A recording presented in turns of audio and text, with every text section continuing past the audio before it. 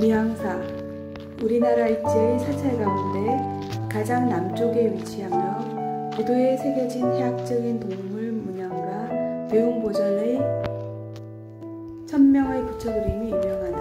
한국 불교가 인도에서 바다 건너왔다는 남방 절배설이 전하는 곳이기도 합니다.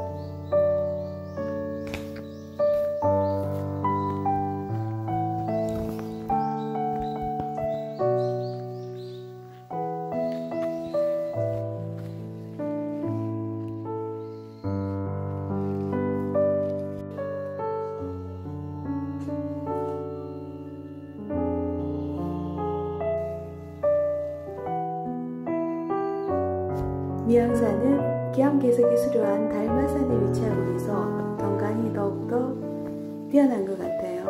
뒤쪽 산을 보면 어, 바위 산이 보이죠? 그 산이 바로 달마산입니다.